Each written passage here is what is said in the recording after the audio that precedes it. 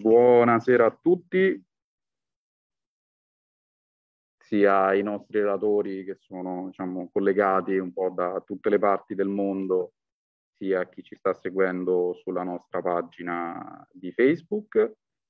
Eh, io mi trovo a fare le veci della, del direttore artistico di MAD Murate Artistic, Valentina Genzini, che sfortunatamente non può essere con noi oggi, ma diciamo recupererà per i prossimi appuntamenti eh, di questo ciclo di incontri in collaborazione eh, con LV Circus e che si inserisce all'interno eh, del progetto Riva, che è un progetto che è nato in occasione del cinquantenario dell'alluvione del fiume Arno, quindi nel, nel 2016, ed è un eh, progetto pluriennale che ha come obiettivo quello di riavvicinare la cittadinanza fiorentina al, al fiume Arno, che, diciamo, eh, con cui c'è stato lo shock appunto del, dell'alluvione che ha portato un, una separazione, un distacco tra, tra il fiume e, e, la cittadinanza fiorentina e, e vuole appunto porre le basi per eh, un parco fluviale lungo le, le, sponde del fiume Arno che in questo momento ha come luogo principe il terzo giardino eh, da cui si accede da, da Longarno Servistori, praticamente da, da Piazza Poggi e, e, che nel corso degli anni tramite artisti, curatori, eh, tra cui appunto Anna Caterina Piras e Chiara De Rossi di, di LV Circus, eh, a biologi, studiosi, architetti, diciamo, personalità davvero a 360 gradi che hanno voluto dare eh, il loro contributo eh, sempre molto importante e puntuale sul, appunto, su questo progetto e che ha visto l'anno scorso una grande mostra ospitata negli spazi di MAD, del Terzo Giardino, del Semiottagono, di Piazza delle Murate, in generale tutto il complesso delle Murate, appunto una grande mostra che ha voluto tirare le fila dei primi cinque anni del progetto Riva che appunto come stiamo vedendo già in questo inizio del 2022 continua a eh, avere un seguito.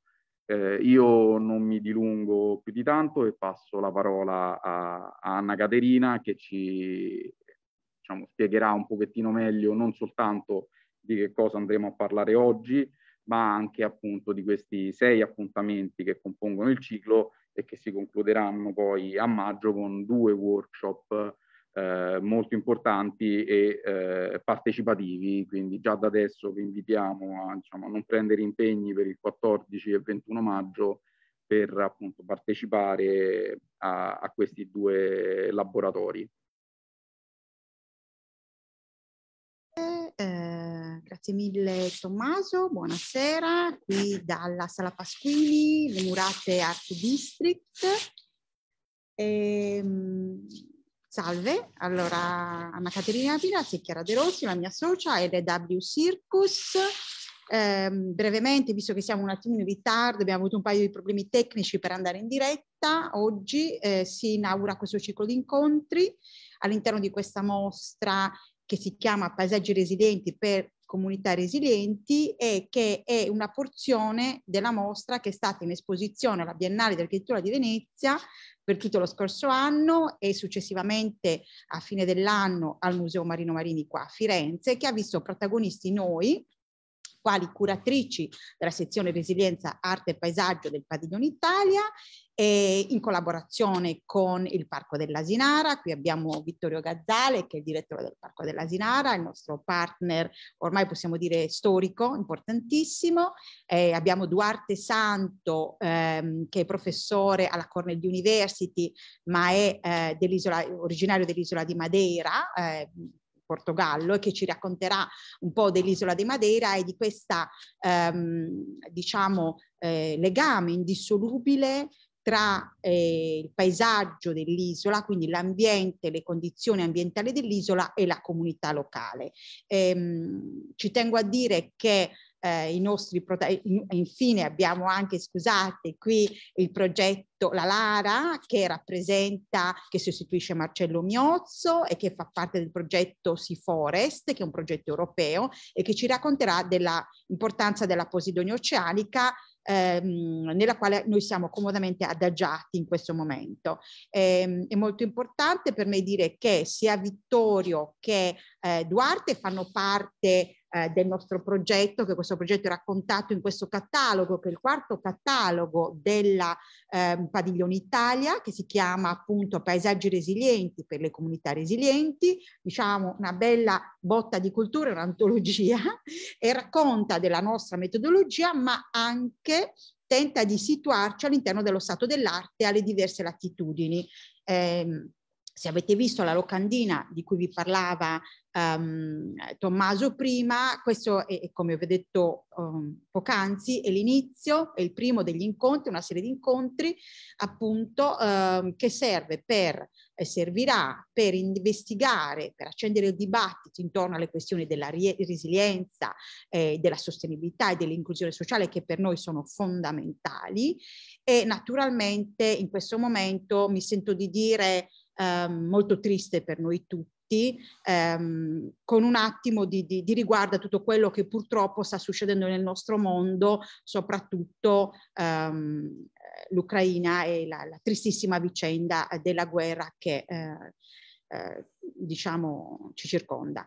Eh, adesso farò uno switch velocemente in inglese per presentare Duarte. I nostri interventi sono internazionali, quindi abbiamo sia eh, esperti e speaker eh, internazionali che nazionali e eh, la nostra regola è questa, che appunto gli italiani parlano l'italiano e gli internazionali parlano l'inglese, che è la lingua diciamo che ci permette più o meno a tutti di capirci. So it is my uh, really big pleasure. I'm so sorry for Duarte because the introduction was all in Italian, but um, Duarte is from Madeira, is Portuguese. So probably somehow he understood a little bit of our Italian.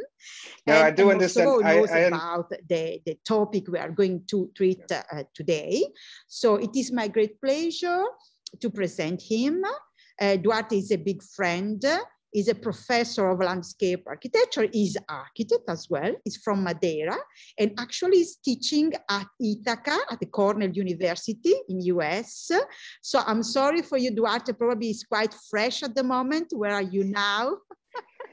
it's more fresh than here in Italy. Yes.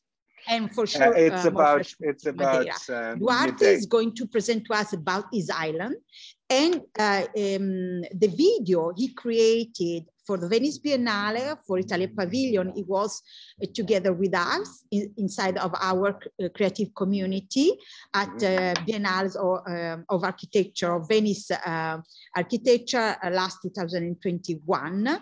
And now it is my great pleasure to give uh, the, the, the, the, voice to, to Duarte. Thanks so much, dear. Ah, yes, there is an, an undertitle in Italian in English. When I when I'm speaking in English, the, the subtitle are in Italian, and when uh, Duarte is going to speak in English. Okay, okay. Okay. Thanks so much. Grazie. Um, can you hear me? Can you hear me? No. Ah. Hello? Can you hear me? Yes, yes. Uh, ok, um, good. Um, buonasera per tutti. Uh, io, io, non posso parlare eh, italiano. Io posso parlare in conversazione per, per non per fare una presentazione. Uh, grazie Anna Caterina per eh, invitare, invitarmi. Uh, è un piacere eh, stare qui. Uh, e, um, so I'll, I'll shift to English now, uh, if you don't mind. Um, hi, um, I'm, I'm going to talk a little bit, uh, to do a, a sort of um, uh, intro to the work that Philip uh, and I did for the for um, the Biennale for the for the work with the L, LW Circus, and um, uh, how we are introducing uh, so the, the reflection about Madeira Island and um, the the process of uh, engaging in a transdisciplinary uh, dialogue uh, and inquiry uh, about the landscape of Madeira through um, through water. Um, the the idea was that. Um, I mean, the, the, the, whole process was explored through the negotiation and mitigation of ideas and experiences of the landscapes, both as places, memories, and metaphors in the film that we presented in the resilience landscape and art section of the exhibition. Uh, so the, the, the um, what we explore and um, reflect upon was a cross-pollination between subjectivities, disciplines, geographies, and modes of collaboration. Um, so Philippe and I are both natives from Madeira, but uh, we have different expertise. Um, my background is in architecture uh, urban design and landscape architecture uh, and ecologies. Um, Philippe is in anthropology and film studies and uh, post-colonialism. And it was through that kind of combination of how, um, the other thing is that I am based outside of Portugal. I'm, I'm uh, I, I, live in the US. Uh, he lives in, in Portugal. So how could we engage with this different conditions of reading the, the territory and reflecting upon the island. So the, the specificity of Madeira um, as a place uh, and focus as well is related to being an island, of course.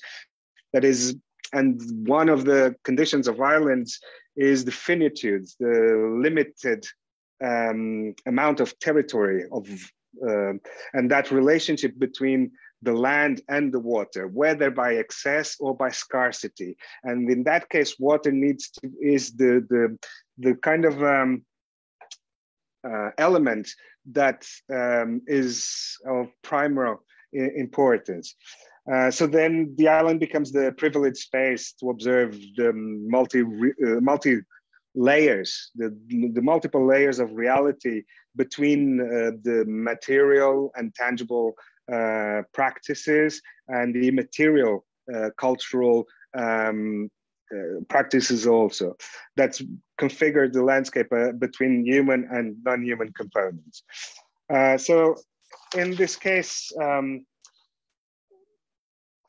so Madeira is, is uh, both an island and it's the archipelago. Uh, it's Portuguese autonomous territory. It's part of the Macaronesia region in the North Atlantic. It has a very steep topography and is completely formed by volcanic materials generated by lava. Um, so it, it is the result of successive volcanic uh, eruptions um, uh, which gradually, the, the, erosion gradually sculpted the relief, resulting in the deepening of valleys and, and receding into the cliffs, originating areas of slope deposits, which are locally known as the fajains. Uh, together with the climate, which is unique due to the influence of um, uh, factors such as the latitude, the oceanic situation, and the Azores anticyclone, and others of local nature, such as altitude and also exposures on slopes and the influence of weather conditions, trade winds uh, that are originating from the north and the northeast. So these cool and humid winds originate a permanent fog zone, sometimes at a variable height of um, uh, around 500 meters uh, in altitude uh, in winter. Um, and the sea of cloud was is formed by raised masses of full of humidity on the coast turned to the north. So this this this kind of framework is for the different conditions of water in the island itself, from its liquid state and the idea of this water that is pervasive, but at the same time it comes from the ocean and um, it evaporates and then comes down as a liquid and then mists again. Uh, it's uh, on a cycle that becomes topographical and that affects all the living systems uh, from uh, the high altitude to the to to the sea. Um, so in that sense, um, for us, um, it was important to also run through a, a sort of ethno ethnofiction, uh, which was how people were in, um, engaged in this um, in, uh, engagement with the land um, and how the water became the medium through which uh, it worked with the identity of the island, but also the the the, the subsistence of, of the island itself. Um, so in that sense, uh, materialities and collective memory um, intertwine in different scales of coexistence between the uh, all-pervasive generic water and the recalling of experience that explore the many facets of the generic element through lived experiences and reconfigurations in landscapes to create possible uh, cosmologies of space and place. Um, so as an island with potential dangerous landscapes, which is the case of Madeira, uh, experience frequent, frequent hazards such as flash floods, landslides, uh, alluvions and uh, storms, uh, Madeira is an, uh, a laboratory, an ongoing inquiry about the relationship between these different states of water, the linearity of time, and the cyclic patterns that occur at different scales of time, bearing resemblance to cyclic events and knowledge. So um, the capacity of remembering the trauma um, and to stay with the trouble uh, is the fact that uh, is um, as a form. So we, we wanted to highlight this idea uh, of remembrance as well of disaster as a, a, a, me, a means to resilience. Uh, so every trauma, in order to heal, needs stages of grief, allowing memory of the events of, uh, to surface, understanding the trauma it might cause in our collective memory. So the resilience of landscapes or systems is also the resilience of the peoples and cultures that engage with the memory of the events and engage with the ability to adapt. So um, and it, it, it's a project that starts and will continue to expand its tool of inquiry. For, for, example, we are um, organizing with um, Anna Katerina uh, um, a workshop uh, sometime later this year in Madeira to expand this inquiry from an initial kind of uh, more um, free um, analysis inquiry to now to uh, uh, direct response on the ground. Um, so what I will do, if I have time, I will play the, the film um, and then we can, uh, you can stop it at any time uh, if we need to. And it's about nine minutes. Um, and um, yeah, and I hope you enjoy it. So.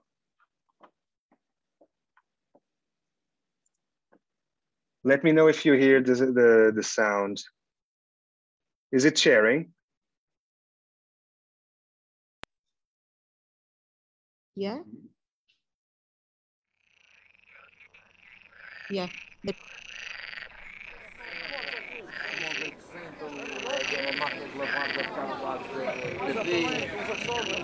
Tem imensa experiência. E também querem vender o material daí. E estes também querem funciona deve ser assim, deve haver.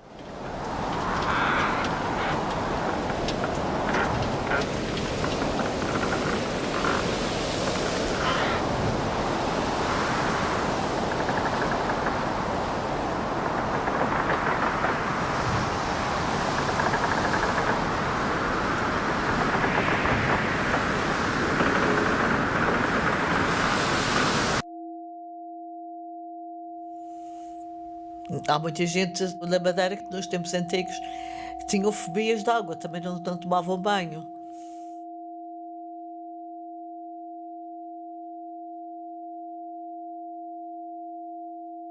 Achavam que não era preciso tomar banho.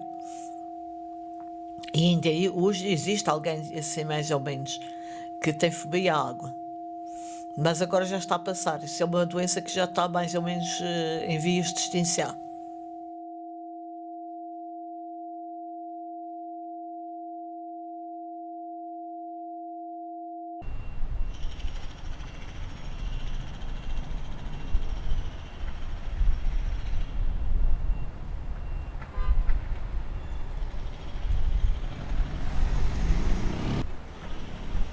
Muita gente tinha uma cor mais ou menos da cor da terra.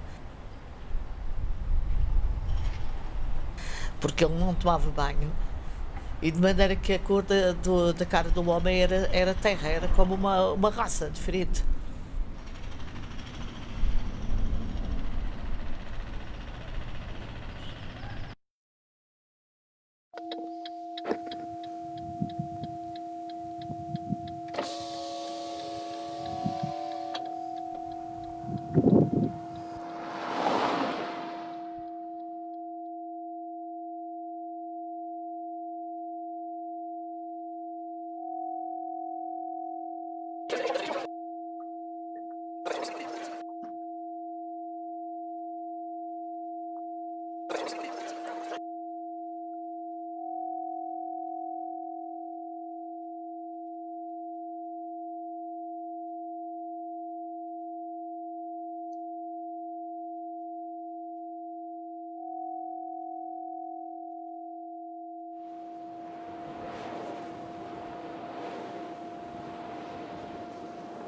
As águas vinham às vezes durante a noite e aquelas pessoas levantavam-se para, para regar às duas e três da manhã. E então eh, eles, eh, havia um termo que era muito apropriado pelo povo, pelos regadores, que se chamava uma hora de, de rega. Quer dizer, é uma hora, em vez de ser uma hora, uma hora exata de relógio, era uma hora de rega.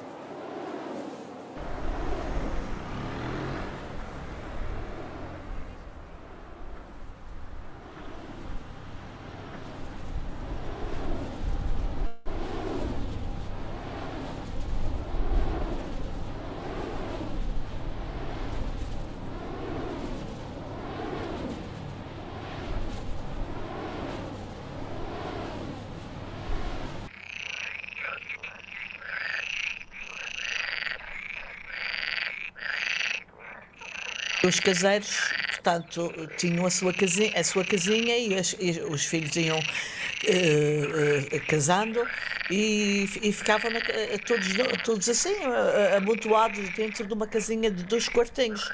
De maneira que vinham só crianças, eram crianças de, seis, se- de no- nove em nove meses eram crianças e, o, e, o, e a creche das crianças era as águas.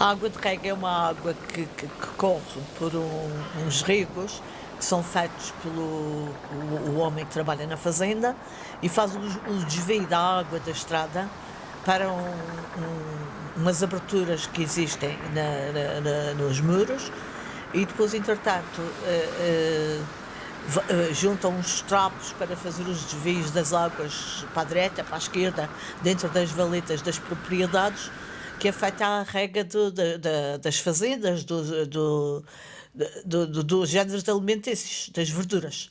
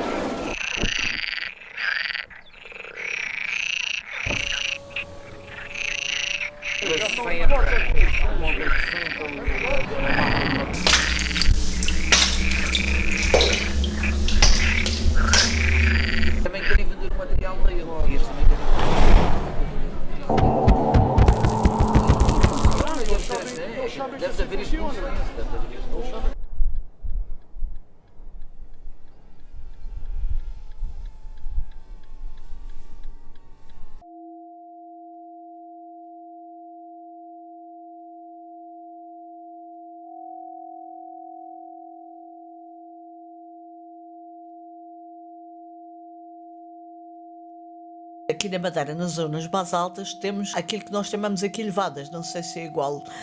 E acontece que uh, eu estava a conversar com uma, um familiar e olhamos assim para o lado e a, a, a levada vinha com uma, uma certa uh, força água e acontece que vimos uma cabeça. E, e, e, o que era uma, a cabeça? Era uma criança que estava a, a brincar na berma da porta e acontece que uh, uh, caí para levada abaixo.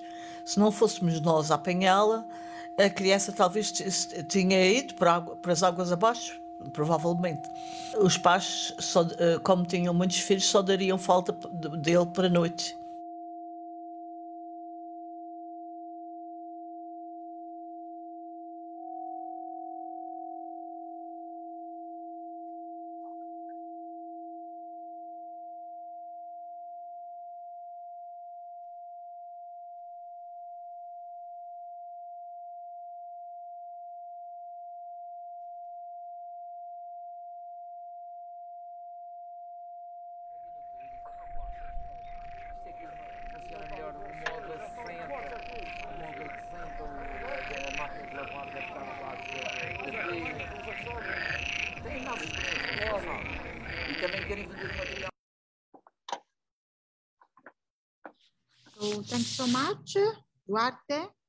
The video. We saw, as well as the 3,100 people at Venice Biennale, your wonderful video. And then we will have the opportunity to taste, uh, to have this experience and to investigate better when we will come there at Madeira Definitely. Island. We Definitely.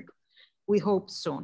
Uh, now I'm going to make a switch and give, uh, then, then we will make, uh, I hope we will have time to make the debate because we start a little bit late for technical problems.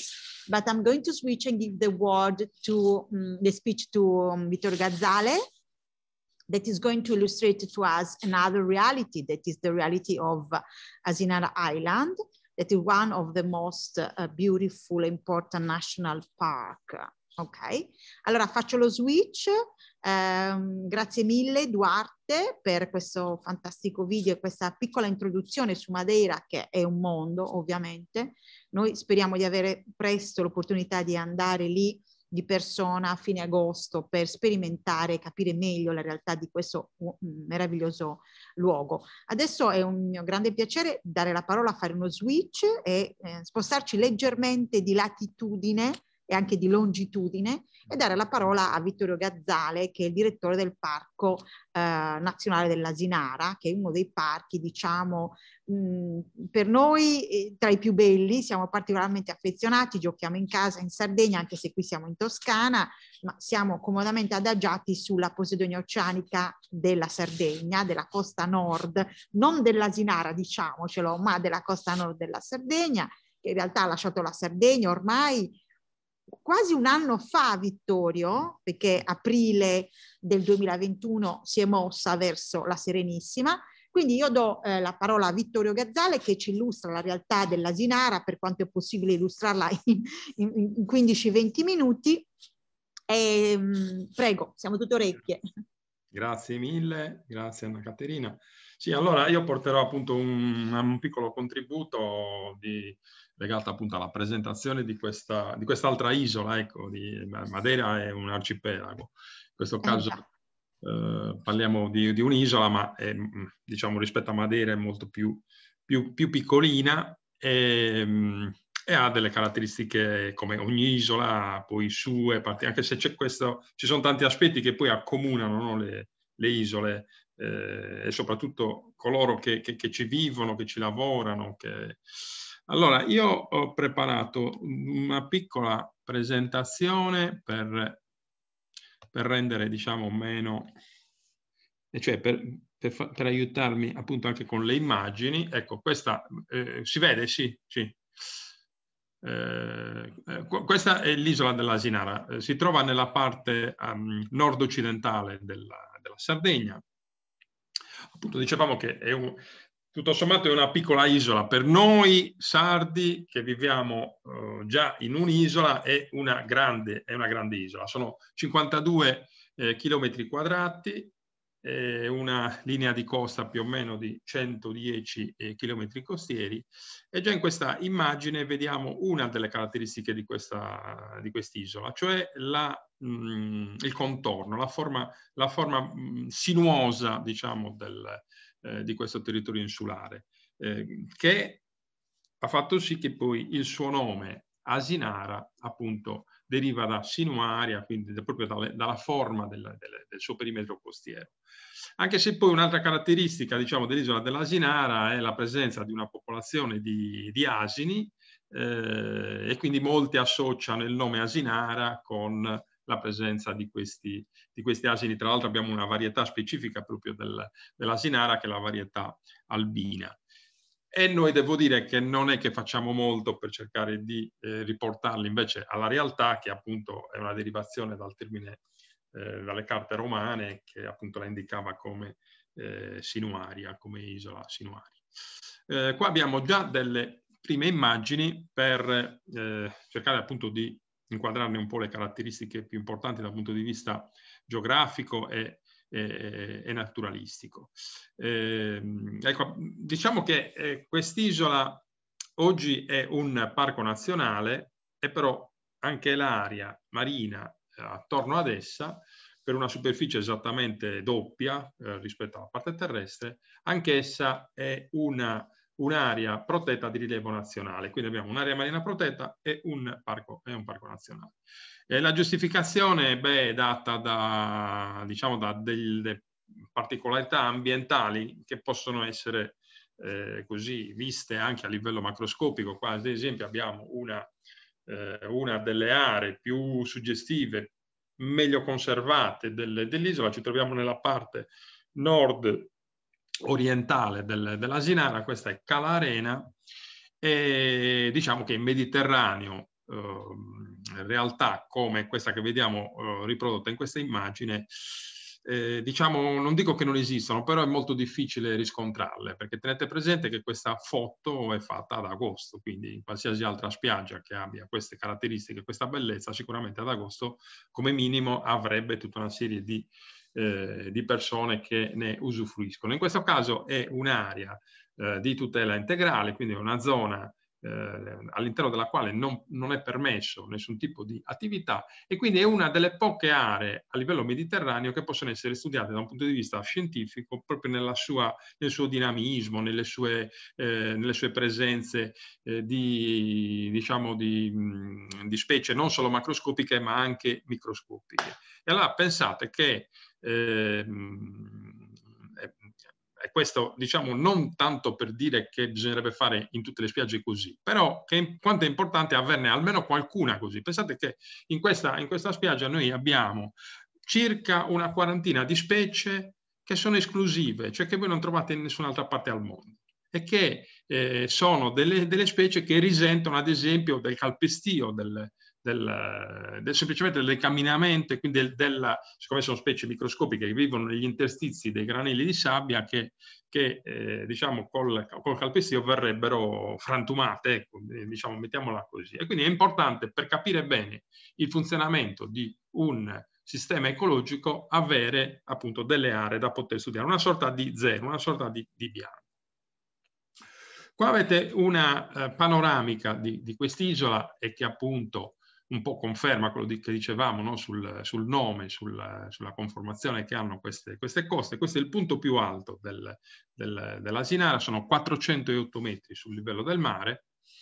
E, eh, e si evidenzia un altro aspetto, come vedete eh, le coste che guardano verso destra dell'immagine, quindi diciamo verso eh, occidente, sono molto più alte, molto più ripide rispetto a quelle che guardano verso oriente, verso la parte sinistra della, della foto.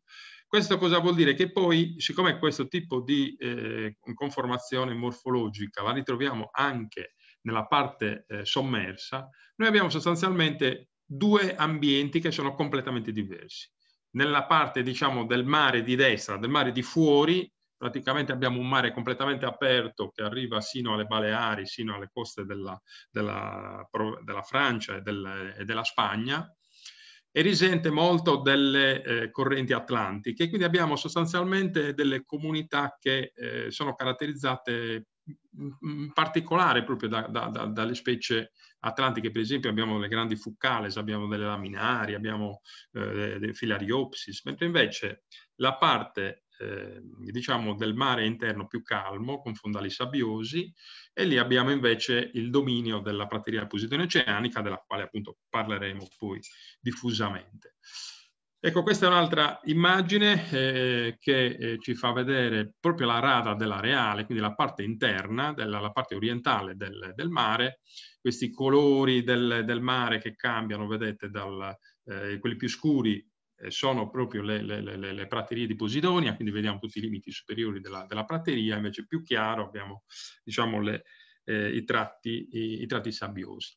A terra, a terra invece vedete che abbiamo un, sostanzialmente una, eh, una strada principale che collega da nord a sud l'isola ed è una strada, una strada eh, diciamo con un cemento ecologico, cioè diciamo si chiamano così, anche se chiaramente un impatto eh, ce l'hanno anche questi, eh, anche, diciamo anche queste, mh, questi tipi di, di, interventi. Però ecco, non esiste l'asfalto, per esempio, in tutta l'isola. Quindi le, le strade ehm, sono appunto delle strade. Eh, questa, questa, strada principale che è cementata e poi tutto il resto sono dei sentieri, dei sentieri sterrati.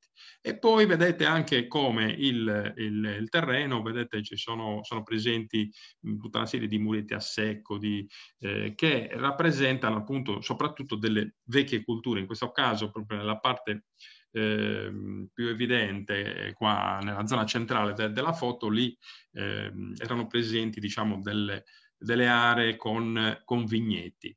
E poi vedete anche delle piccole strutture, dei piccoli insediamenti che eh, ecco, ci dicono un po' anche la storia, ci raccontano un po' anche la storia dell'insediamento umano del, dell'Asinara. L'Asinara è stata abitata da sempre, cioè è un'isola strategica, quindi diciamo che dal 4000 a.C. noi abbiamo delle presenze eh, importanti, ad esempio con delle domusegianas che sono delle, dei sepolcri ipogei eh, che troviamo nella parte qua centrale in alto di, eh, che si chiama Campo Perdu e poi successivamente abbiamo avuto tutte le stratificazioni che hanno caratterizzato un po' gli insediamenti eh, qua eh, in Sardegna. Eh, sino ad arrivare diciamo alla all'Ottocento quando sostanzialmente avevamo due comunità che abitavano quest'isola. Una comunità di pescatori che provenivano soprattutto dalla Liguria, da Camogli e dalla Campania, da Ponza. E, e poi avevamo invece eh, diciamo una comunità sarda che viveva soprattutto invece eh, nella parte interna e si dedicava all'agricoltura, alla, alla, all'allevamento, mentre invece la comunità ligure e, e ponzese era soprattutto dedita alla, alla, pesca. Poi nel 1885, ecco, questa comunità è stata allontanata in maniera anche piuttosto violenta dalla, dall'isola ed è, sta, e lo Stato ha deciso di, eh, di eh, localizzare una colonia penale e una stazione sanitaria di quarantena. Quindi di fatto l'isola è stata completamente svuotata ed è stata, diciamo, eh, poi occupata da questa nuova comunità in qualche modo artificiale che però ha segnato eh, la presenza appunto del, dell'uomo in questi eh, più o meno 112 anni, dal 1885 fino al 1997. E poi dal 1998 è iniziato il percorso del, del parco. Quindi diciamo che lo Stato ha sostituito una presenza importante, ingombrante, quale quella soprattutto del carcere, con un'altra presenza, non dico altrettanto ingombrante, però abbastanza, eh, diciamo, centrale rispetto al, allo Stato, che è data da un parco nazionale, appunto, da un'area marina protetta. Un altro, un'altra immagine che ci fa raccontare anche in questo caso altre due particolarità dell'isola dell'Asinara è il, chi ha l'opportunità, eh, diciamo, di poter trascorrere eh, non solo eh, diciamo, la giornata, la visita, che è quella che fanno più o meno la maggior parte dei visitatori che vengono all'Asinara, ma che ha l'opportunità magari di restare più giorni, sa che eh, altri aspetti che riguardano quest'isola sono ad esempio il, il buio della notte, no? che sono mm, che sembra, cioè sono eh, diciamo delle sensazioni che noi non siamo neanche più abituati a cogliere vivendo appunto nelle città, vivendo comunque eh, là dove non abbiamo diciamo un, un, buio che diventa quasi eh, inquietante. E poi l'altro aspetto che è strettamente collegato con questo è il silenzio, quindi che poi non è un silenzio ma sono i rumori della natura, quindi i rumori degli animali, i rumori del vento, i rumori del mare. Anche in questo caso, pur magari frequentando delle città di mare, difficilmente abbiamo la possibilità di cogliere isolati questi, eh, diciamo, questi rumori. Tutto questo chiaramente ci dà delle, delle, delle sensazioni, delle immersioni in un ambiente eh, naturale così particolare che diventano appunto un po' uniche e, e ci consentono anche forse di fare anche degli, degli approfondimenti su, su, noi stessi, su aspetti che riguardano anche, eh, non so, pensieri sulla, eh, sul nostro ruolo in questo pianeta, sul, sugli equilibri che, eh, diciamo, i, i, non dico in assenza dell'uomo, perché ovviamente l'uomo è presente e, i tragici avvenimenti di questi giorni ce lo, ce lo, testimoniano, è presente comunque in ogni parte del, del, pianeta, però comunque ci aiuta a distinguere ciò che è, eh, ciò che sarebbe un eh, evento naturale, un ritmo naturale, un, eh, una sensazione naturale rispetto a quello a cui noi siamo invece più abituati, quindi con, no, con la nostra tipologia di vita. Altro aspetto che, ehm, che caratterizza quest'isola è la presenza di centinaia di, di, di testimonianze eh, delle epoche passate, quindi che so, possono essere dei ruderi, possono essere anche delle strutture importanti, possono essere anche dei, addirittura dei palazzi reali, no? come eh, ad esempio la sede del parco e del, del ministero che viene pomposamente chiamato eh, Palazzo, Palazzo Reale proprio per la sua maestosità. Ecco, ma anche quando noi troviamo questi, questi ruderi, eh, sono delle testimonianze che restano congelate, diciamo, legate al, al periodo dove loro eh, sono, state, sono state utilizzate. Quindi noi abbiamo la possibilità di leggere la storia dell'insediamento di quest'isola anche attraverso semplicemente l'analisi delle centinaia di, di, ruderi che per una serie di, di motivi, prima di tutto il fatto che appunto lo Stato è presente dal 1885, quindi non esistono delle iniziative private, delle iniziative che possono recuperare o modificare o alterare queste, queste presenze. E, e, questa alla fine che dà quel senso anche, se vogliamo, di degrado che, che l'isola eh, un po' manifesta, però dall'altra parte dà anche questa possibilità invece di, eh, di, di, di collegarsi ai vari periodi storici che, eh, che, che, ha vissuto. Qua avete, qua non si legge, ma ve la, ve la, ve la, ve la racconto io questa immagine. Questa è una, è una carta dei possedimenti dell'isola prima dell'istituzione della colonia penale. E queste, voi vedete giusto questi, questi elenchi di, di, di, vi dico io che cosa sono, sono degli elenchi dei nomi delle persone che avevano la proprietà di quei lotti o quelle, o quelle strutture. Quindi diciamo che ogni struttura poi è anche coll- era collegata ad ogni, ad ogni famiglia, comprese quelle che poi successivamente sono state utilizzate dalle varie amministrazioni eh, pubbliche. Quindi, per esempio, questa è, uno, è, una delle attività che stiamo facendo e che stiamo facendo in coerenza con tutto il lavoro che stiamo portando avanti insieme ad Anna Caterina e, alla, e all'associazione LW Circus, cioè quello di cercare di eh, riportare in maniera mh, delicata mh, a, a, una, a, una, giusta ecco, conoscenza, mh, sì, certo, il, del periodo del parco, il periodo del carcere, ma soprattutto il periodo della comunità che, che era presente prima sul, sull'isola, sull'isola dell'Asinale. Quindi eh, recuperare appunto eh, la corrispondenza tra eh, le diverse abitazioni eh, e, e, i diversi proprietari e contattando poi anche i discendenti, perché poi tutti i discendenti che sono stati allontanati dall'isola non è che siano andati molto lontano, si trovano diciamo nella costa di Rimpettaia all'Asinara che hanno, hanno fondato un villaggio, il villaggio di Stintino, e poi nell'agro, nella zona della Nurra, di Porto Torres, eccetera. Quindi questo è un lavoro molto, molto affascinante che appunto cerca di riannodare questi fili che si sono spezzati e interrotti nel 1885.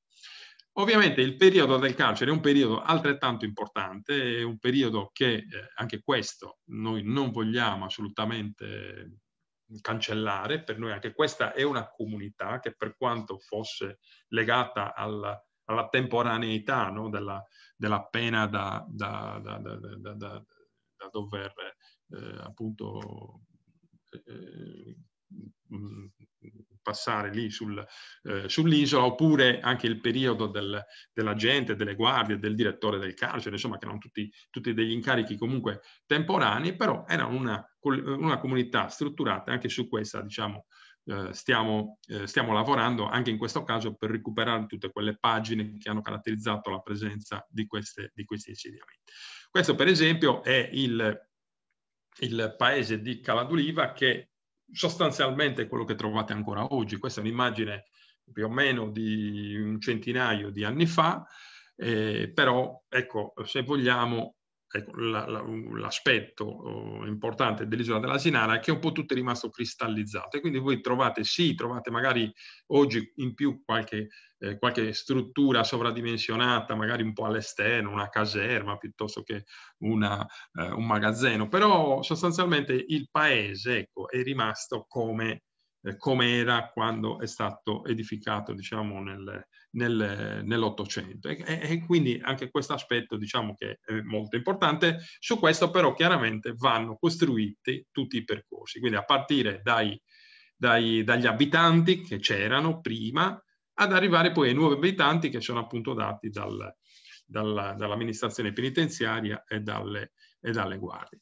E poi in, questa, in questo transito ci sono passate, diciamo, poi delle figure nel bene e nel male, delle figure molto importanti, per la, perlomeno per la storia eh, italiana. Qua abbiamo i giudici Falcone e Borsellino che hanno scritto proprio in questo paese, proprio a Caladoliva, nell'isola della Sinana, hanno scritto il memoriale contro la, la mafia, contro questa organizzazione, terribile organizzazione eh, criminale, eh, che poi eh, sappiamo bene gli è costata la, la, vita. E come spesso succede per il paradosso del, del destino, poi successivamente la Sinara ha ospitato proprio coloro che eh, avevano organizzato e architettato il loro, eh, il loro omicidio e quindi per esempio alla Sinara è stato detenuto il, eh, proprio l'ideatore del, del, loro assassinio il capo, diciamo, della, della, mafia, uh, della mafia italiana. Ecco, quindi ci sono tutte queste contraddizioni nel, nell'isola che sono dei passaggi importanti e che sono dei passaggi che, sempre con delicatezza, però vanno eh, rispettati e vanno raccontati. Ecco, quindi noi abbiamo tutta una serie di iniziative legate, oltre che all'inclusione, anche alla eh, alla legalità e anche all'educazione, ovviamente all'educazione ambientale e sono tutti percorsi che, che facciamo appunto nella, eh, insieme alla, diciamo, ad Anna Caterina. Accanto a questa uh, storia che adesso io ho riassunto molto, molto velocemente, ma ci sono state delle pagine tragiche, ad esempio non possiamo non, non citare nella prima guerra mondiale eh, il ruolo che ha avuto l'Asinara nell'ospitare 24.000 prigionieri austro-ungarici che sono arrivati dall'Albania in un paio di mesi, tutti sul, su, su quest'isola, ammalati, affamati, con tifo, disenterie, eh, e di questi 24.000 che venivano mm, posti in campi di concentramento, 7.000 sono morti all'interno dell'isola della Sinara e quindi poi sono tra l'altro ancora sepolti sull'isola e resi visibili all'interno di un ossario.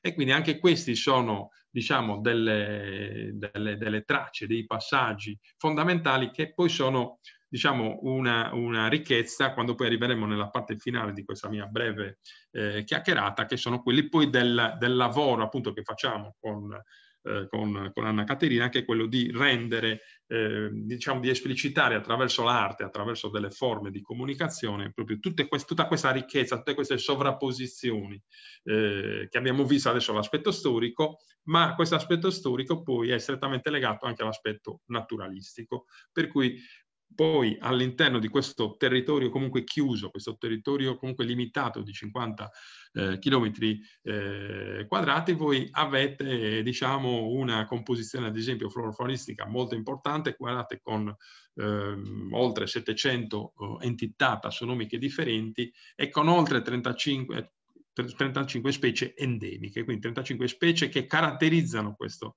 questo territorio. La possibilità di avere un, un, un, numero così elevato è legato proprio al fatto che eh, quest'isola ha avuto sempre un uso molto prudente da parte dell'uomo. Voi per, una, per, delle considerazioni indirette, perché, perché rappresenta appunto un, eh, un, carcere, voi invece per attività dirette come la presenza del, del parco.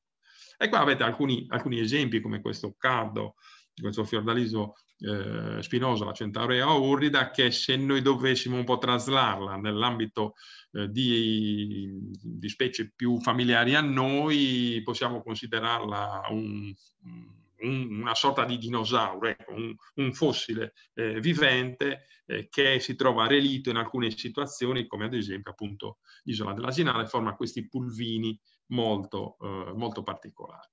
Eh, e queste sono altre specie che sono, per esempio, questa è la, la, la, margherita più piccola che abbiamo al mondo ed è presente appunto nell'isola, eh, nell'isola dell'Asinara. Analogamente abbiamo, anche da un punto di vista faunistico, tutta una serie di, di, specie che sono visibilissime perché sono delle specie che sono presenti in numero importante, la forma dell'isola è piuttosto stretta e quindi chi, insomma, chi fa una, una visita nel, nell'isola dell'Asinara ha sempre questa sensazione, cioè la sensazione di invertire un po' quella a cui noi siamo abituati eh, a, ad osservare quando andiamo nella natura. Cioè quando noi andiamo nella natura eh, ci sforziamo per cercare di individuare magari qualche forma vivente, qualche macrovertebrato, qualche specie.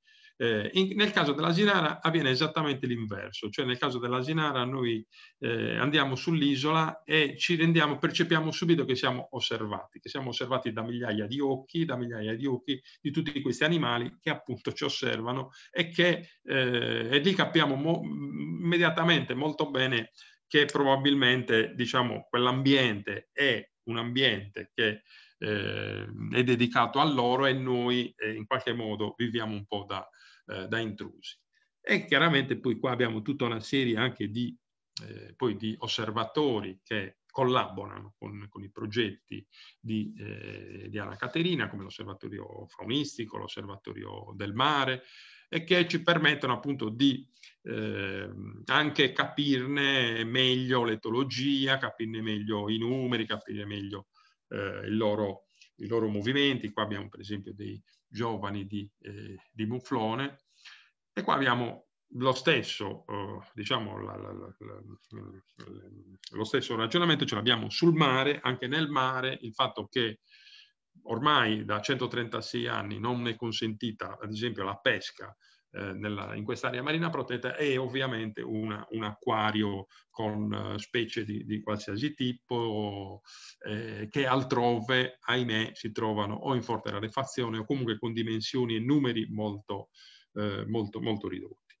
Eh, queste appunto sono delle, delle, specie più importanti, dei piani più superficiali. Le abbiamo in alto, vedete la patella gigante, la patella ferruginea, che all'Asinara ha la popolazione più importante del Mediterraneo, con oltre 9.000 individui, che vengono tutti monitorati. Tra l'altro quest'anno abbiamo avviato un live per fornire del, dei riproduttori eh, per i parchi diciamo, della Toscana e della, e della Liguria dove eh, stanno tentando di poterla reintrodurre diciamo, nelle loro aree marine protette. È eh, l'unica area donatrice eh, po, diciamo, eh, poteva essere l'Asinara proprio per i, suoi, eh, per i suoi numeri. Qua abbiamo la Posidonia, ma non mi dilungo, e qua siamo io con Anna Caterina perché appunto ecco, sulla base di tutta questa ricchezza eh, di storia, di natura, di ambienti,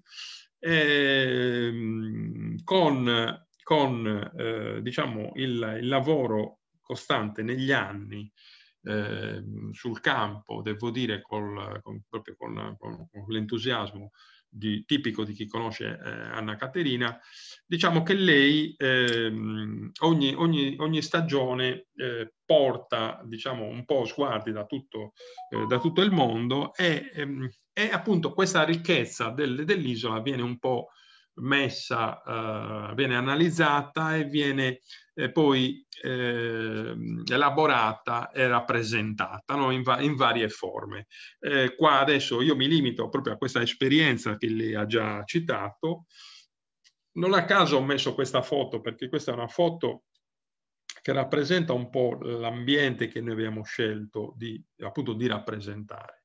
Eh, abbiamo una eh, banchetta di Posidonia oceanica che tra l'altro eh, è un qualcosa che non viene eh, percepito per l'importanza che ha solitamente dal, ad esempio da, da, da, dal, dal, turista balneare eh, e per noi invece era importante spiegare bene quale fosse il ruolo eh, nella catena del detrito, ad esempio, di questa, di questa componente del, eh, del sistema ecologico, eh, ma anche eh, diciamo, il ruolo che ha ad esempio nella organizzazione del, eh, della CO2, quindi nella, eh, del, del, diciamo, del, del, ruolo che ha ad esempio nel cercare di contrastare il, i cambiamenti climatici che noi, eh, stiamo, che noi stiamo vivendo.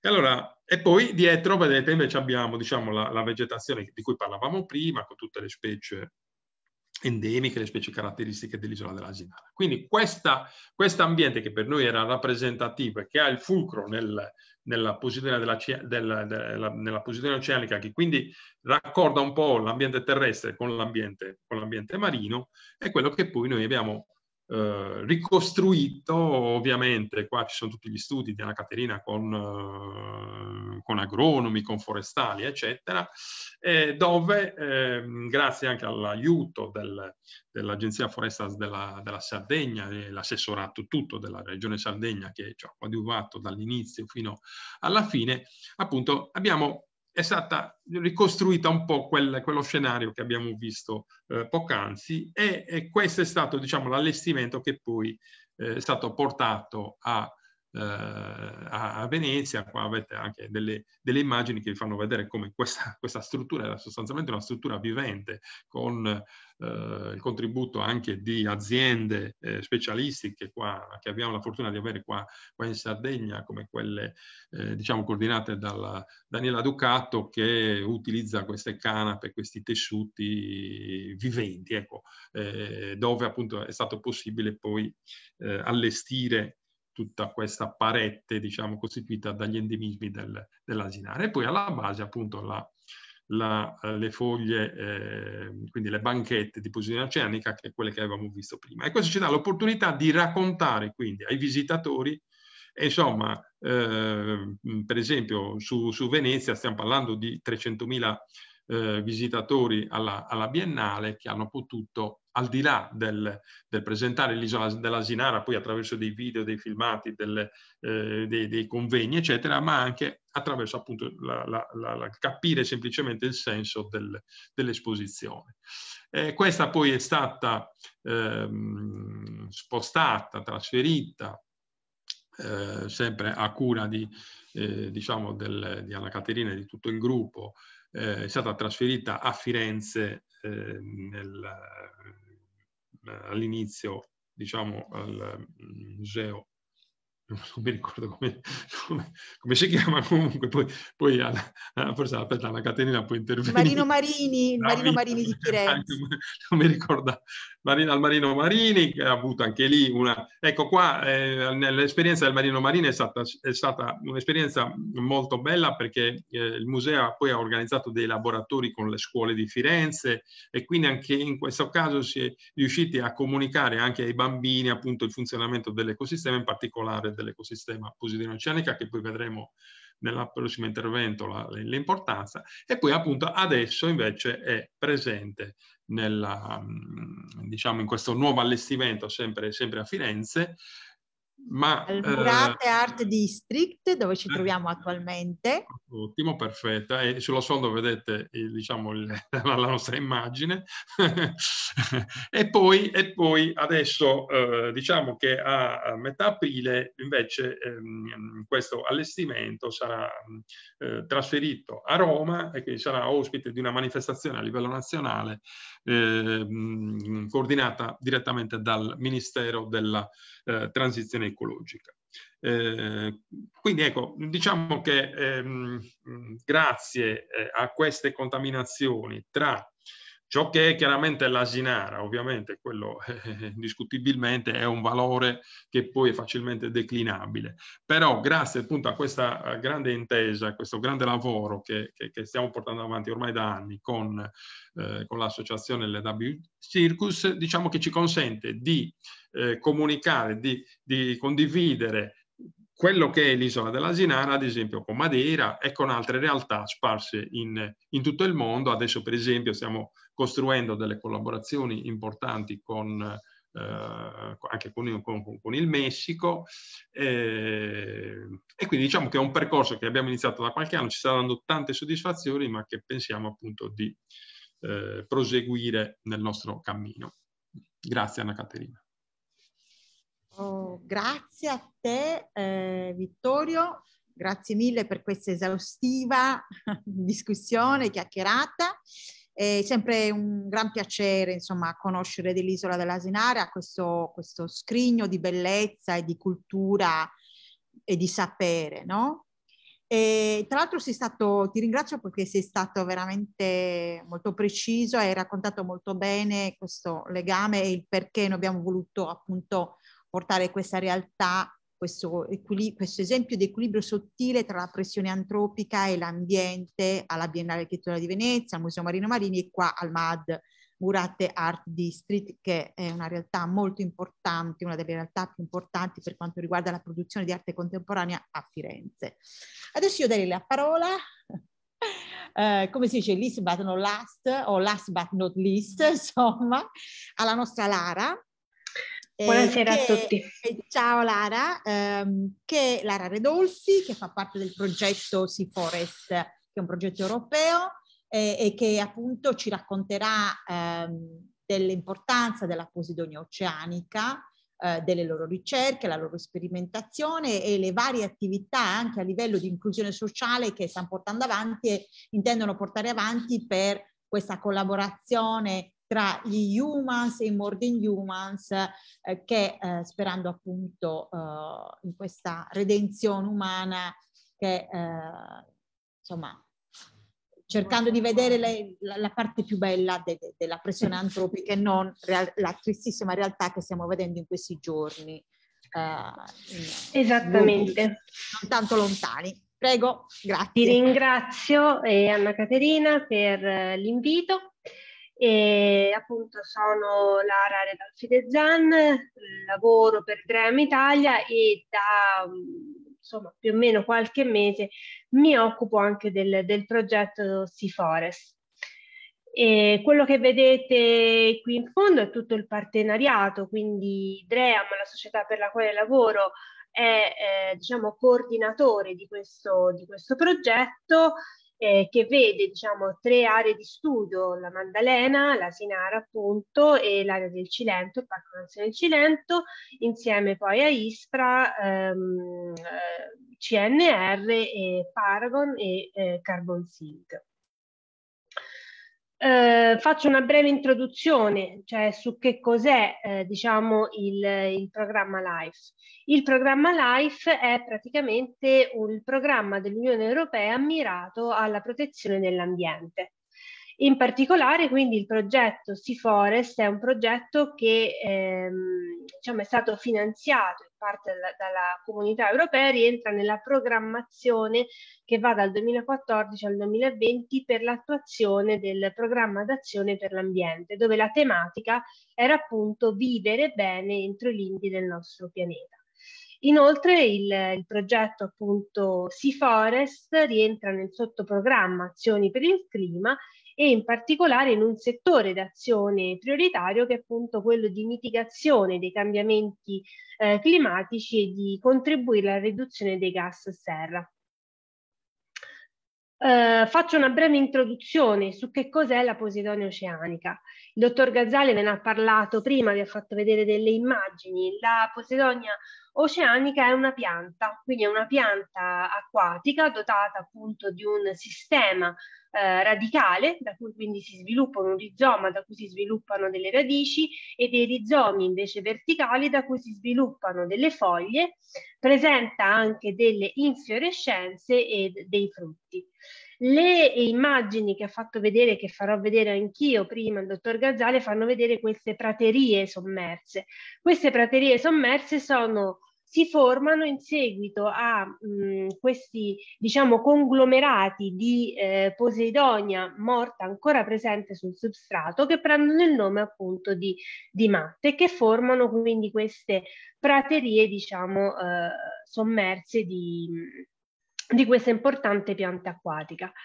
Perché è importante? Vediamo i ruoli ha un ruolo negli equilibri eco ecologici in quanto contribuisce a un'elevata produzione di ossigeno perché è anche capace di sequestrare grandi quantità di, di carbonio Inoltre è un'area di riproduzione, primo accrescimento per molte specie ittiche, funge un po' da nursery, cioè da ehm, primo habitat per numerose specie ittiche, quindi questo eh, fa sì che sia proprio un polo di biodiversità molto importante.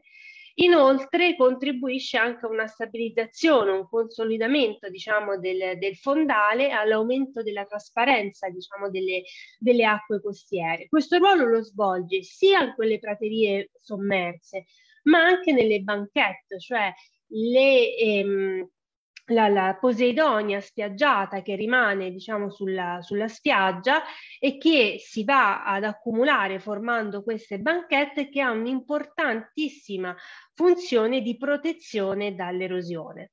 Da questo ruolo, diciamo che eh, negli equilibri ecologici e fisici che svolge la Posidonia oceanica, e per questo viene chiamato anche ecosystem service, cioè tutti quei servizi che derivano dall'ecosistema, servizi ecosistemici che sono offerti gratuitamente, diciamo, dal, dagli ecosistemi naturali, fanno sì che la Posidonia svolga anche un importante ruolo eh, economico, perché il posidonieto, il posidonieto contribuendo allo sviluppo chiaramente della eh, diciamo al mantenimento di una buona qualità dell'acqua contribuisce anche allo sviluppo quindi del turismo, delle attività eh, balneari che hanno un grande impatto economico. Inoltre, proteggendo le nostre coste dall'erosione, anche questo aiuta notevolmente dal punto di vista economico. E inoltre da ciò ne deriva anche il suo ruolo di bioindicatore, cioè la presenza di Posidonia, di praterie Posidonia, di Posidonia oceanica è un indice diciamo di buona qualità delle acque. È una pianta quindi che caratterizza come vedete tutte le coste più o meno dell'area mediterranea e nonostante questo importante ruolo diciamo che questa pianta svol svolge però il tasso diciamo di scomparsa di estinzione è quattro volte più alto rispetto a quello delle foreste eh, terrestri e in particolare a, a, partire proprio dagli anni 50 ha subito una regressione eh, tale pari in alcune zone a circa il 90% della sua estensione originaria. Quindi qui si entra nel discorso delle minacce. Vediamo infatti quali sono le minacce diciamo, principali che eh, eh, causano, stanno causando in alcune aree la scomparsa di questa, di questa pianta acquatica, eh, sono legate appunto, eh, ritorniamo ai fattori antropici. Quindi questo che cosa vuol dire? La presenza eh, dell'uomo. Come influenza, come la presenza dell'uomo causa la scomparsa in alcune aree di Posidonia oceanica? Prima di tutto attraverso l'inquinamento. Chiaramente ogni forma di inquinamento, di sversamento di sostanze chimiche in acqua causa un aumento della torbidità dell'acqua e fondamentalmente ehm, questo de determina un, la morte, un deperimento di questa, di questa pianta. Eh, la pesca a strascico, anche qui, sebbene sia eh, proibita nelle zone diciamo, dove è presente la Posidonia oceanica, tuttavia in alcuni casi viene praticata ugualmente che cosa causa? Causa lo sradicamento di intere piante, cioè la distruzione di quei conglomerati che vi ho fatto vedere prima, le cosiddette matte di Posidonia oceanica. Ed infine l'ancoraggio non regolamentato, cioè l'ancoraggio così definito selvaggio ehm, che eh, causa la, proprio lo sradicamento di, eh, diciamo, di foglie e rizomi. Nell'immagine che vedete qua sotto questa eh, corridoi che vedete privi diciamo di Posidonia sono proprio legati al fatto che lì l'ancora è stata diciamo trascinata via e quindi ha sradicato tutta eh, una striscia diciamo di, di, di Posidonia oceanica.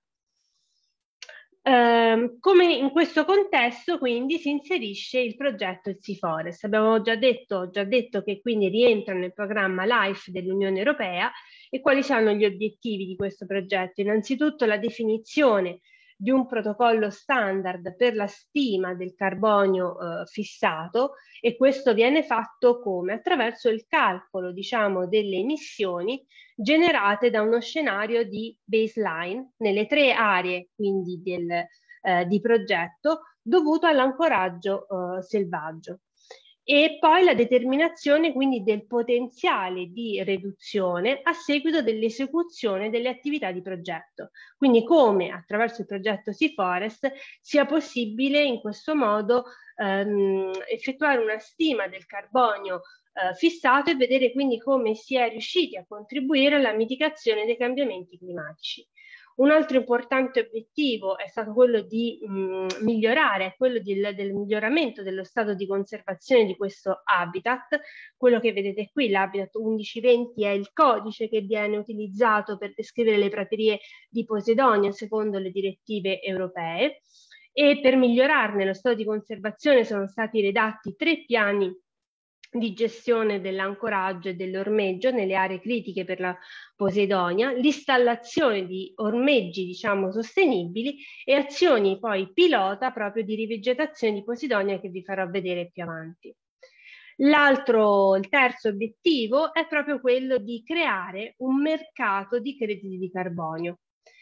Um, che cos'è il credito di carbonio? Il credito di carbonio è una vera e propria unità di carattere finanziario, corrisponde a una tonnellata di CO2 che è stata quindi ehm, diciamo sottratta all'atmosfera. Quindi è rappresenta il carbonio sequestrato, il carbonio che è stato evitato attraverso un'attività, quale può essere quella come un progetto Sea Forest, e che poi viene acquistato per compensare le emissioni. Acquistato quindi da tutti quegli attori chiaramente locali, eh, quindi attività quindi co commerciali, che quindi possono in questo modo eh, compensare le loro emissioni acquistando crediti di carbonio. Il progetto poi prevede anche una replica in, diciamo, in tutta l'area mediterranea grazie al, diciamo, alle attività svolte a Malta attraverso il partner appunto eh, di Malta. Eh, come, eh, come, stiamo procedendo ecco, per creare questo, eh, questo mh, mm, mercato diciamo, di crediti di carbonio? Innanzitutto è necessario effettuare una stima del carbonio si parla di blue carbon, cioè quel carbonio che viene sequestrato grazie al, ehm, al mare, ok? Alle attività eh, diciamo presenti nel, nel mare. Si parla appunto di blue carbon. Quello che vedete qui sono diciamo tutta una mappatura dei Posidonia oceanica effettuata nelle tre aree di progetto. Quindi da sinistra verso destra vedete la mappatura dell'area della, della, Maddalena, al centro quindi tutta la mappatura dei posidioneti presenti su diverse tipologie di fondale nella Sinara e a destra quella nell'area del Cilento. Uh, è stata fatta quindi questa uh, diciamo mappatura per poi eh, attraverso la definizione dei piani di realizzazione di piani di ancoraggio e degli ormeggi è possibile definire il tasso di perdita di CO2 dovuto a fenomeni di degrado. Quello che vedete qui, ad esempio, è una stima che è stata fatta in un'area dove, questa dovrebbe essere l'area di Cala Reale, dove più o meno in, in, un anno si hanno le emissioni di circa 350 tonnellate di CO2. Questa definizione è, è una definizione del tasso di perdita diciamo, di CO2 dovuta a fenomeni praticamente di, di degrado, quale appunto l'ancoraggio eh, selvaggio delle, delle, barche. Attraverso quindi la nuovi, nuovi piani di ancoraggio e degli ormeggi questa, uh, diciamo, le, le, sono state individuate delle nuove aree per l'ancoraggio libero che quindi dovrebbero spostare in questo modo tutte le imbarcazioni in quest'area che vedete qui sotto nell'area di Isola Piana in modo tale da uh, in questo modo ehm, stimare quello che è stato il carbonio sequestrato e riemmesso poi negli ecosistemi attraverso poi una stima monetaria e sociale, il modello qualifica qual è, quantifica qual è il valore marginale di questo servizio. E questo è quello diciamo, che eh, il progetto diciamo, sta eh, facendo attraverso le attività eh, dei suoi partner. Vediamo però un'altra attività che il progetto porta avanti parallelamente. Eh, queste sono due diverse azioni di progetto. Una è la, mh, rientrano in quello che è il rinfoltimento delle praterie di Posidonia, quindi attività di rivegetazione della Posidonia, attraverso delle ricuciture tipo di matte in impianti pilota e attraverso attività che vorremmo far partire diciamo da quest'anno, cioè di raccolta di semi e germogli e definizione quindi anche di un eh, protocollo di buone pratiche per l'utilizzo di semi e germogli eh, spiaggiati e delle talee di, di Posidonia. Ehm, si parla appunto di ricucitura proprio perché in alcune aree, queste in particolare sono immagini dell'area del, del Cilento, le talee diciamo di Posidonia ritrovate sono state praticamente ehm, agganciate a delle strutture biodegradabili che sono queste stelle che vedete qui, che poi vengono fissate diciamo sui fondali in modo tale poi da monitorarne in qualche modo la crescita. Queste stelle quindi vengono fissate diciamo, sul substrato e i rami diciamo, di queste stelle sono fissate, come vedete nelle immagini, queste talee di, eh, di Posidonia, in modo tale da promuovere un rinfoltimento. Qui questa, nelle immagini che vedete qui sono tutti gruppi di, eh, di ehm, rinfoltimenti in aree dove c'era una degradazione delle, delle praterie di Posidonia. Questo tipo di impianto pilota per ora è stato condotto nell'area del Cilento grazie alle attività portate avanti dall'ISPRA in una superficie di 50 metri quadri a 2 metri di profondità, quindi non tanto profonda e questo ha un valore anche educativo perché è divulgativo, proprio perché serve alla, alla, diciamo, ai turisti, alle, ai locali, proprio far vedere le attività che si stanno diciamo, svolgendo. E, ehm, ed infatti appunto eh, dopo pochi mesi è stato effettuato diciamo un sopralluogo, tutti i supporti per fortuna erano ancora presenti e le talee stavano rinfoltendo diciamo le aree degradate.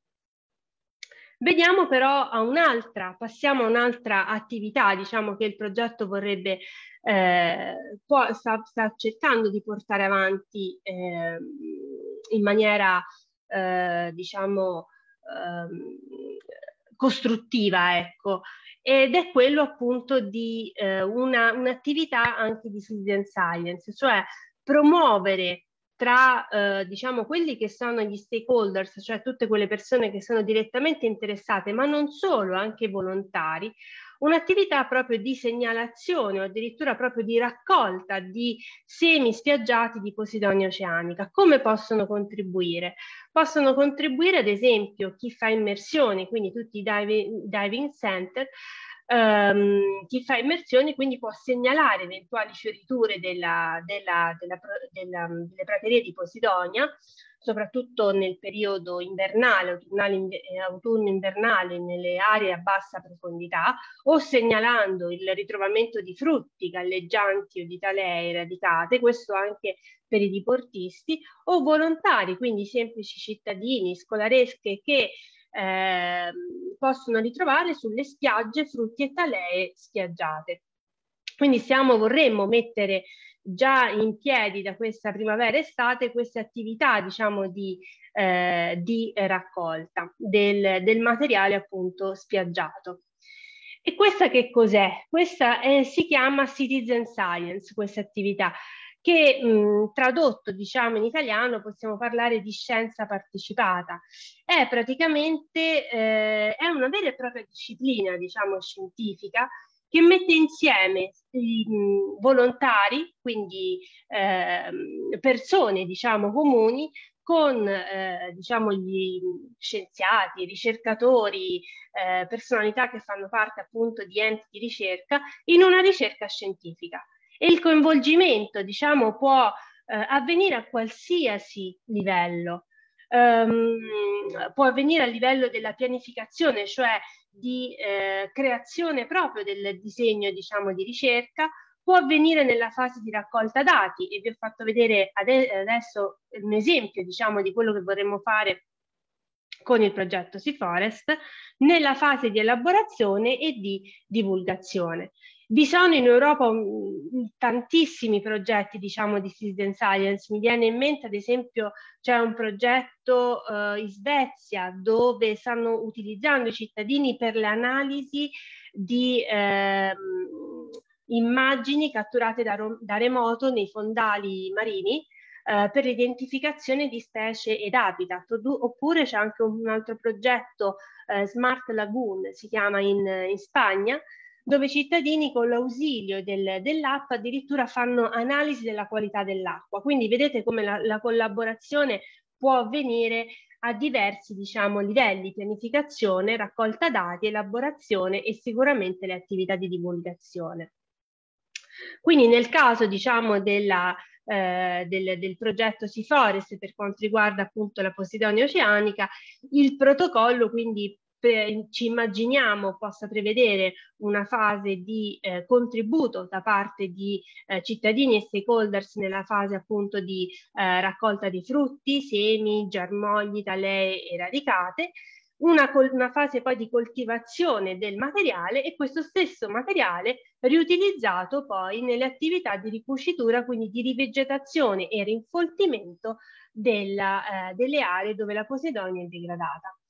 Attualmente sul sito diciamo, del, del progetto è possibile inviare delle segnalazioni eh, di eh, ritrovamenti di Posidonia spiaggiata che quindi eh, prenderemo in, in, considerazione per eh, le attività future.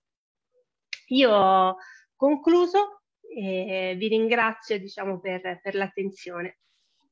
Eh, grazie. Grazie eh, Lara, sei stata veramente chiarissima. Eh, io devo dire che con questa ehm, Science Citizen, insomma questa scienza condivisa, partecipata, mi sembra proprio perfetto concludere. Purtroppo non abbiamo il tempo per, per le domande o per il dibattito perché abbiamo avuto un ritardo tecnico, quindi mi, ci scuserete, ma magari avremo modo di organizzare magari un altro, um, un'altra talk insieme perché questa storia della polarizzazione oceanica, questa questione secondo me è, è, è fondamentale, no?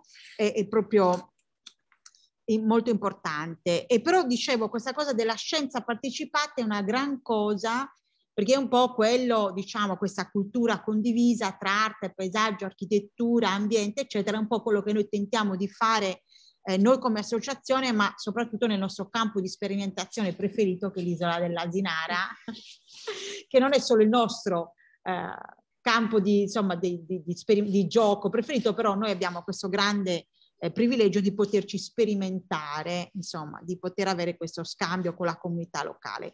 Allora, um, uno switch molto veloce in, in, inglese. Duarte, thanks so much for your patience that you have, um, because uh, the, it was long and was really interesting, but, it, was, it was, it was really great. And uh, it yeah, was great to yeah. know more about um, the Parco, Parco da Sinara. And uh, I'm fascinated by Lara's uh, project as well.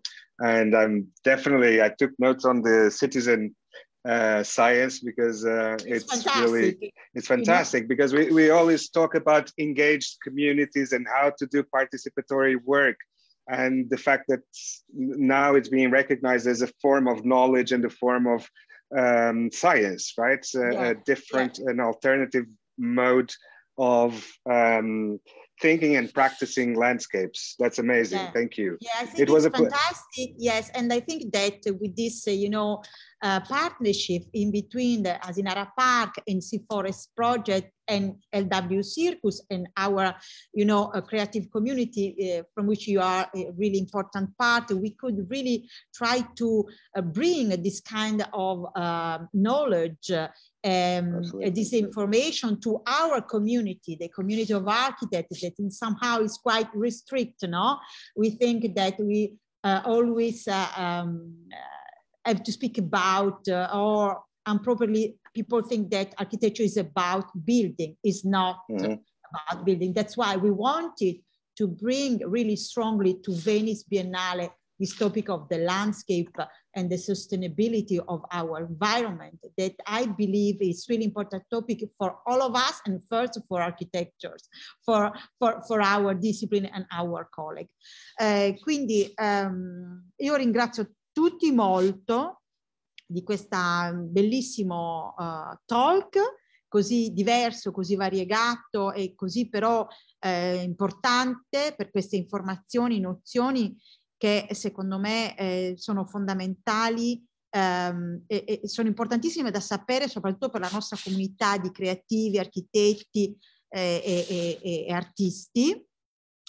Saluto tutti i nostri speakers e passo la parola a Tommaso che ci saluta e ci ricorda il prossimo appuntamento del 17 di marzo. Sì, anche io ovviamente mi eh, associo al- ai ringraziamenti e saluti per Tuarte Santo, Lara Ridolfi e Vittorio Gazzale, ovviamente per eh, Anna Caterina Piras e Chiara De Rossi. E vi invito tutti al secondo appuntamento di questo ciclo che è giovedì prossimo, il 17 marzo, sempre alle 18, sempre con questa doppia formula, sia dal vivo nella sala Vanda Pasquini del complesso delle Murate, in cui è allestita l'installazione con la Posidonia Oceanica che ci accompagnerà fino al 6 di aprile e il prossimo giovedì saranno con noi invece Jason Ho della South China University of Technology, Mark Raymond dell'Università di Johannesburg e Simon Boussier dell'Università delle Hawaii. Quindi non mi resta che salutarvi tutti e augurarvi una buona serata e alla prossima settimana.